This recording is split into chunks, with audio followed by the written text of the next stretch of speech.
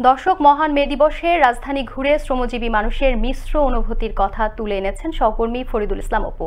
ক্যামেরায় ছিলেন খলিলুর রহমান। আজ আন্তর্জাতিক শ্রমিক দিবস। শ্রমিকদের অধিকার প্রতিষ্ঠার দিন। উনিশ শতকের গোড়ায় কলকারখানায় সপ্তাহে ছয় দিন গড়ে প্রায় দশ থেকে বারো ঘণ্টার বেশি অমানসিক পরিশ্রম করতেন শ্রমিকরা।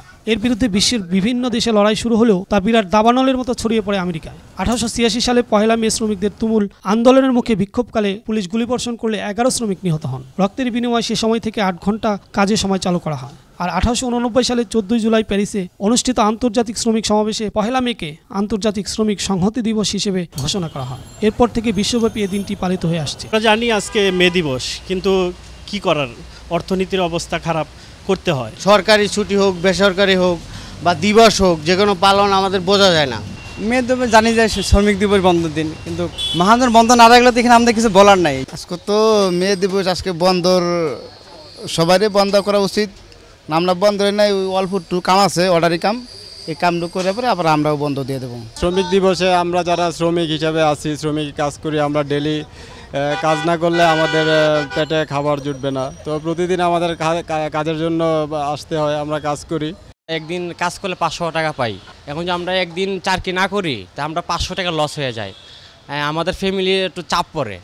প্রতি বছর নানা আয়োজনে শ্রমিক দিবস উদযাপিত হলেও কতটা বদলেছে শ্রমিকদের জীবনযাত্রার মান? শ্রমিকদের জন্য সুনির্দিষ্ট আইন থাকলেও এর কতটুকু বা প্রয়োগ হয় সে প্রশ্নের উত্তর ছিল ঠিক এমনই। বাংলাদেশে যখন শ্রমিকদের অধিকার আদায়ের লক্ষ্যে আগে প্রায় দশ থেকে বারোটা বা তারও অধিক আইন ছিল।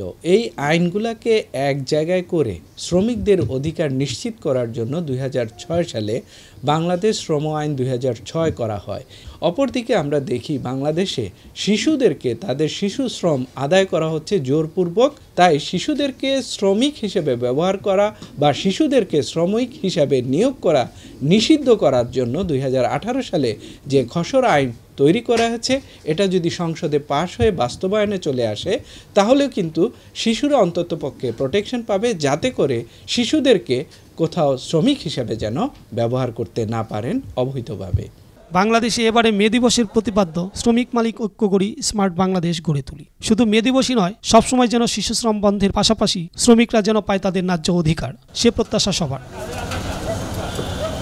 ফরিদুল ইসলাম, অপু, আনন্দ টিভি, ঢাকা।